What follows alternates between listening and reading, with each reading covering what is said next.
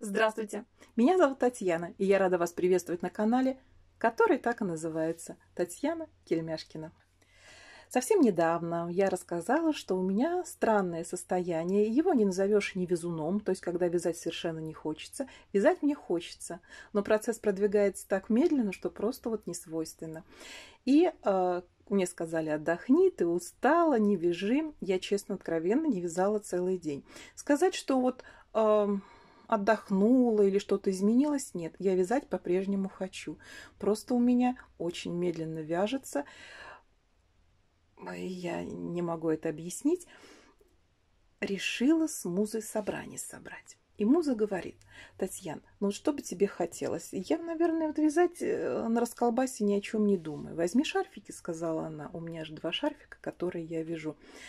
Я взяла, повертела, покрутила. Правда ведь, вяжи ни о чем не думай. Но, видимо, все-таки это не то, что мне нужно. Как насчет носочки, носочных изделий, спросила фея. Пожал плечами, неплохо, но не хочу. А пледы? И вот на пледах меня как-то немножко ёкнуло. Даже не немножко, честно говоря, а прям очень-очень немножко. Для новеньких на моем канале я напомню, что у меня действительно есть два шарфика, которые вот вроде моему состоянию соответствуют. Вяжи ни о чем не думай. Мне кажется, я просто относительно розового шарфика выполнила программу июня. Сантиметров 25 я вывязала, в итогах июня я все это покажу. И как бы достаточно. Мне хочется еще столько же в июле, еще столько же в августе, а вот в начале сентября, типа я вяжу шарфик, начать его типа и закончить. Это вот такое основание к скучному, к скучному вывязыванию шарфулек. И вот, что касается, значит, этого прекрасного шарфика, здесь у меня только шапочка, и вот именно в догонку к ней вяжется шарф я его обязательно вижу. Я вижу себя в этом шарфичке, хочу носить, и я буду носить. Что касается, значит, этого цвета, я выбрала такую тонкую нитку, что у меня уже просто какие-то даже мысли, а довязывать ли мне его. Все относительно, в общем-то, рекомендаций, которые к этой ангорушке э, идут. Э, идет так медленно, я в мае мы поставили маркер, я все-таки провязала чуть-чуть, но все больше и больше меня посещают мысли, буду я его вязать или нет, заканчивать не знаю. У меня шапочка есть, варежки есть, может и без шарфика обойдусь. Посмотрим, посмотрим пока. Эти процессы я за процессы не считаю, они вот у меня такие, знаете, фоновые лежат.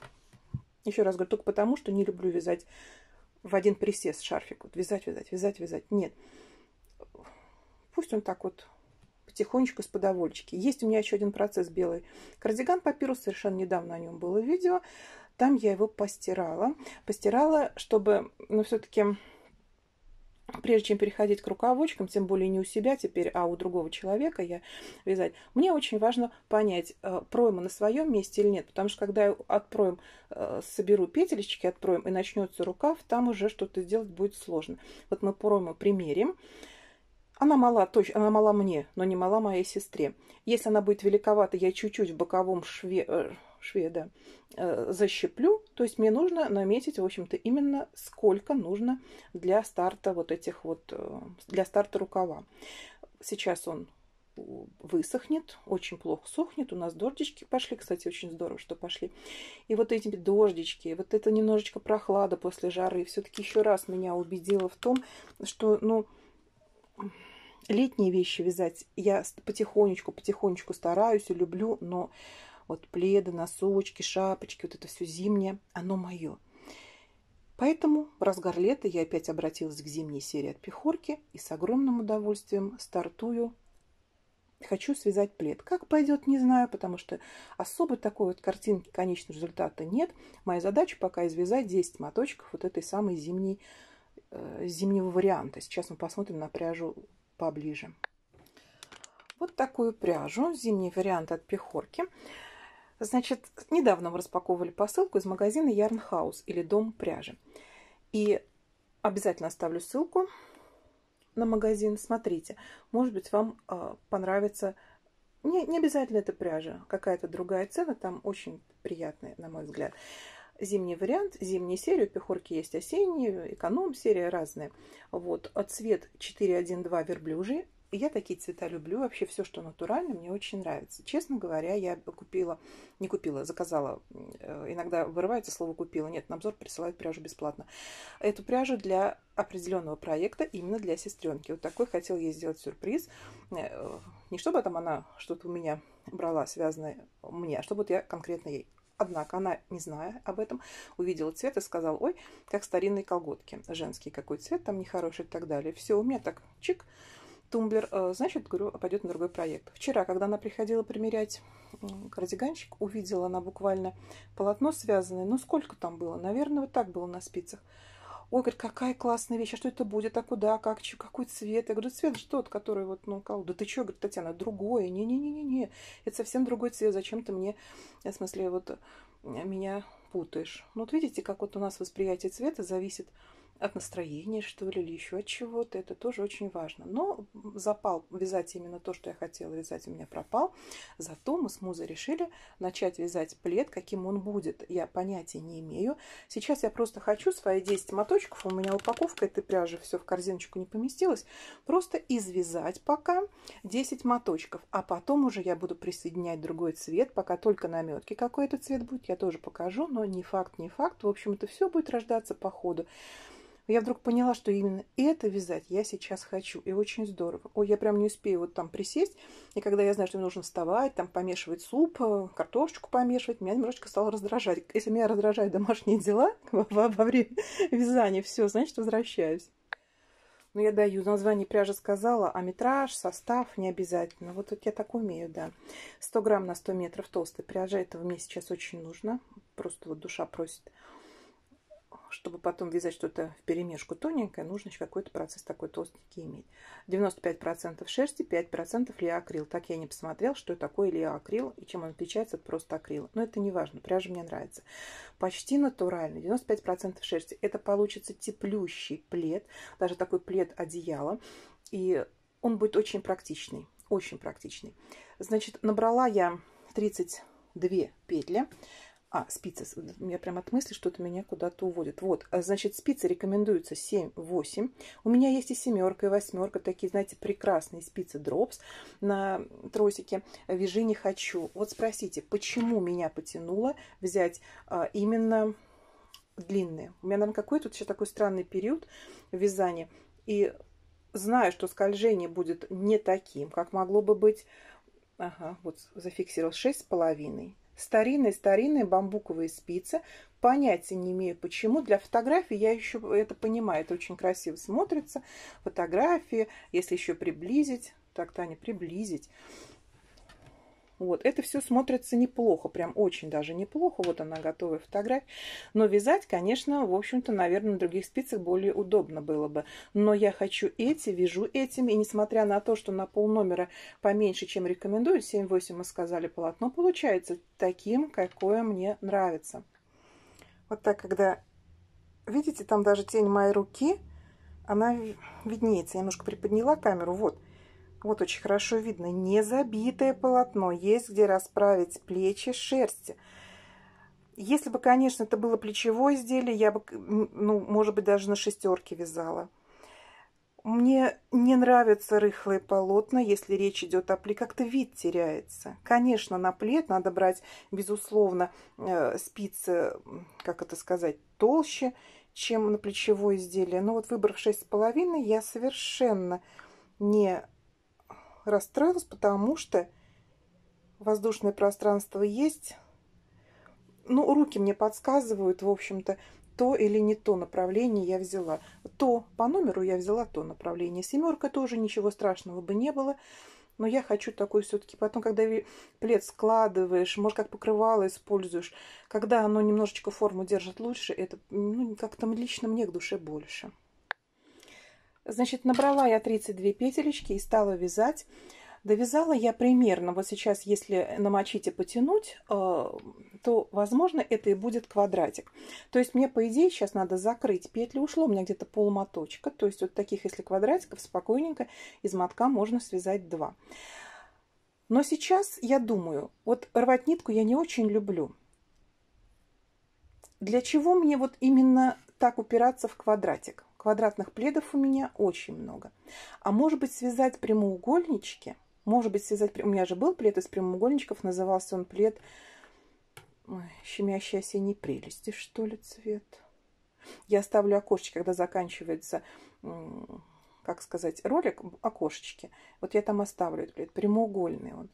И мне хочется, зачем вот усамить это обязательно квадратик, не больше, не меньше. Может быть, прямоугольники сделать, я пока к этому склоняюсь. Будут ли все э, именно платочной вязкой или будет рисунок, я не знаю. Вот кому-то утомительно вязать платочку, я обожаю. Лицевая гладь платочка, я обожаю. Это не потому, что я ленюсь вязать узор. Потому что, наверное, добра добра не ищут. Добра именно имеется в виду того, что просит душа. Вот такая фактурная вязка для пледа-одеяла, но почему бы и нет? Почему бы и нет? И поэтому можно спокойненько, даже если я извяжу 9 мотков, 9 прямоугольничков, то сложив их раз, два, три друг к другу и 3, то есть 9, 3 на 3, уже будет прямоугольник. Я почему-то сейчас не очень люблю квадраты, квадратные пледы. А если квадратиков, то надо вязать, наверное, ну где-то 3 на 4, может быть, 5 на 3 и так далее. Я не исключаю, я сейчас еще подумаю, что это будут прямоугольнички. Это здорово. Сейчас над чем я думаю, это вязать какими-то рисунками. Мне нравятся такие пледы, но ничем не больше, чем пледы э, одной фактуры. Поэтому не исключено, а скорее всего, у меня все-таки будет вот именно платочек. Она немножко после стирки толстенькая. Пусть пряжа больше уходит толстенькая. 95% шерсти плюс тонкий состав. Это будет вот такой плед. Это будет настоящий, надежный такой дружище, когда нужно согреться.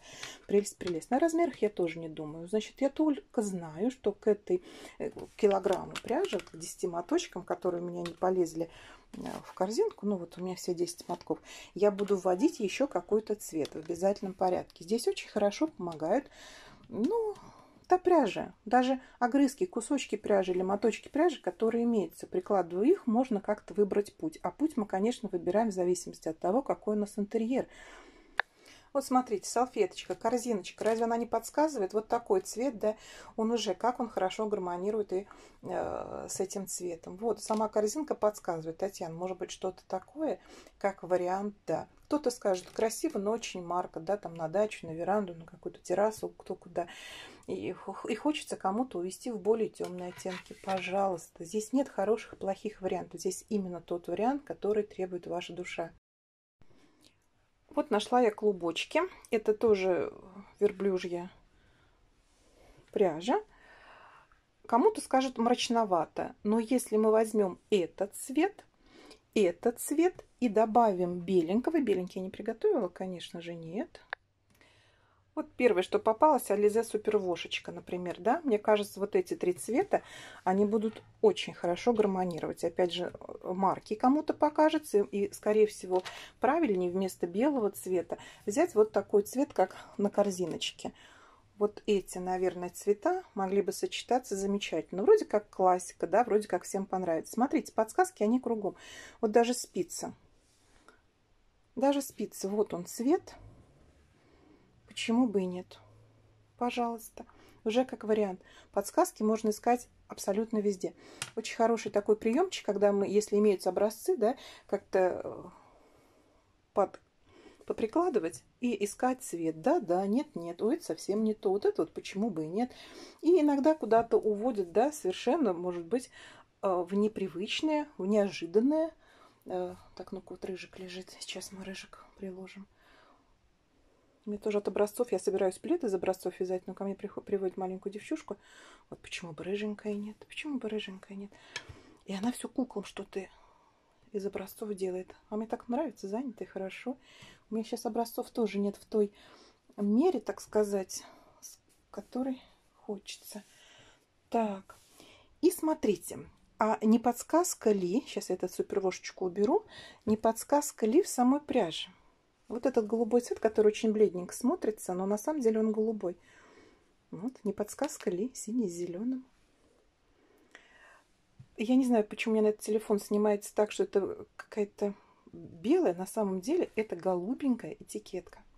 И мне навело на мысль, что у меня есть пряжа, Тоже 100 грамм на 100 метров. По-моему, она... А может, я что-то путаю. Так, сейчас сделаем маленький перерыв. Я пойду ее принесу. Я говорю вот об этой пряже. Кому-то очень неожиданно, я хочу вспомнить, по-моему, 100 грамм, да, 100 грамм 100 метров. Получается, что по метражу они одни. Так, давайте мы снимем эти пояса корсеты, чтобы как-то посмотреть. Вот я понимаю неожиданно. Так, нам нужно... Но тем не менее, это может быть... С этой пряжей уже в начале года мы встречались, потому что я начинала вязать кардиган. Именно поэтому у меня пряжа вот в таком виде.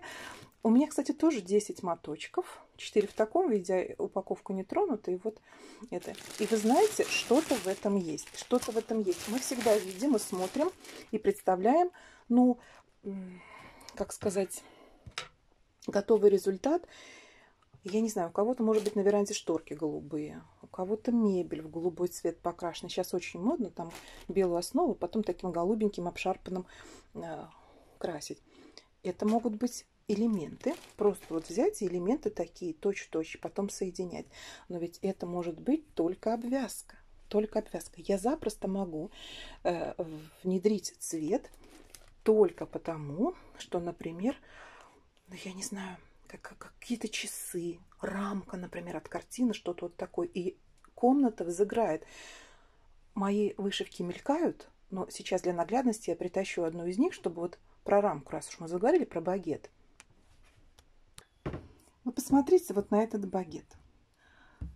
Как сюда вольется, вышивка-то вся не входит. Ой, даже птички подходят. Вот, казалось бы, да, плетеная креселка, простые самые, что ни на есть стены. Так, сейчас я попробую вам вышивку показать. Так, вот так я могу ее показать, потому что на столе уже, ой-ой-ой, чего-чего. Вот это вышивка. Я даже, когда ее несла, я принесла ее исключительно из-за рамки. А посмотрите на цвет самих голубочков. Это золотое руно. На черной конве два белых голубя. Схему-то я взяла. У меня коллега бывшая вышила именно на черной конве э, белых голубей. Вот, схему я у нее взяла, а нитки подбирала сама. Мне хотелось именно на грязно-голубой конве, э, как бы небо. Темно-голубая не подходила вышить вот эту картину. Вот я к чему. На моей террасе плед вот с этой окантовочкой, с этой картиной, с самой скромной мебелью, изумительнейшим образом бы какую-нибудь корзинку я бы поставила, туда голубые моточки бы я в корзиночку, значит, и все, и сиди, отдыхай, пей кофе и кайфуй. Мой добрый зритель, честное слово – вот просто хотела ввести мысль к тому, что самые неожиданные варианты, которые, может быть, отрицаются сразу, в итоге могут быть такими удачными. И вот сейчас у меня просто на ваших глазах, и благодаря вам, я с вами рассуждаю, вы мне какие-то флюиды же подсказываете. Кто-то нет-нет, Таня, зачем такая ерунда? Кто-то да, Танюха, да-да-да, дерзай. Я просто, вот понимаете, сейчас э, каким-то образом думаю над тем. Обвязочки мне нравятся. У меня были пледы с обвязками. Сейчас за штативом все это не очень аккуратно и удобно. Я смотрю только лишь идеи. Только лишь идеи. В моих где-то э, мечтах, головах есть еще и яркий терракотовый оттенок здесь. Но вот сейчас, глядя на это, есть уже пряжа. Получается 2 килограмма. Килограмм вот такой, килограмм такой. Конечно, можно э, выписать и вот из одной пряжи связать. Я ничего не говорю. Это кто куда как. Если два голубеньких, например, будут встречаться, а я же все-таки хочу оставить один моточек. И, например, вот соединяться мотивы будут именно таким цветом. Вы знаете, вот вроде ничего такого и кричащего, красивого, но так спокойно и так приятно. А если еще вот такую салфеточку таким цветом на стол поставить, да? Какой-нибудь глиняный горшочек вот таким цветом. Это вообще, даже если нет цветов, конфеты купить вот примерно такого оттенка. Скатерку бросить. Это все так спокойно и легко можно обыграть. И комната получается ну, такой спокойный. Для меня не мрачный, потому что все равно там белый тюль, например, да, белый подоконник, что-то еще, это, все это будет освежать и будет вносить какую-то нотку. Одним словом, я вяжу, и пока знаю, что это будет плед, но другого пока ничего не знаю. И мне вот хочется пока, когда с этой стороны даже еще поинтереснее смотрится. Можно два круга обвязки нарезать. Это будет зависеть от того, все-таки будут у меня такие э, детали или будут только в качестве обвязки голубой будет цвет выступать. Вы знаете, это все вот рождается. Но я рада, что это тоже 100 на 100, 100 метров на 100 грамм. Получается, что у меня 2 килограмма творить не хочу, да? Вот кто-то, может быть, какие-то здесь еще элементы. Я не люблю вышивку на пледах. Смотря он детский, не детский, в коляску, не в коляску. Может, какие-то пуговицы, если такие подобрать где-то. Но это все очень-очень... Слушайте, мне вот просто разговаривая с вами, вспомнила, что у меня есть ниточка 100 на 100. И сейчас мне эта идея нравится. Эта идея мне очень нравится. Вот добавила синих оттенков, раскидала вот так, если будет где-то что-то.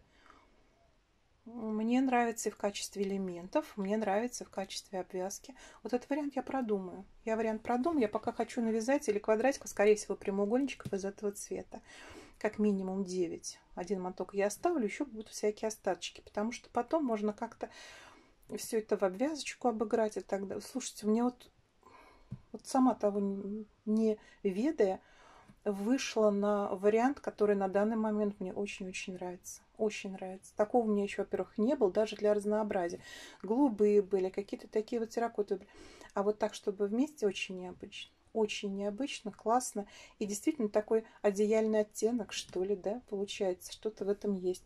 А вот если я, например, еще сейчас заряжаю корзиночку, я вот как-то этот вариант рассматривала, да, в итоге потом при бирочку пришить. Ну, не надо уж капризничать ты. Спасибо, дорогой. Вот. А сейчас я рассматриваю уже другой вариант. У меня же и такой цвет есть.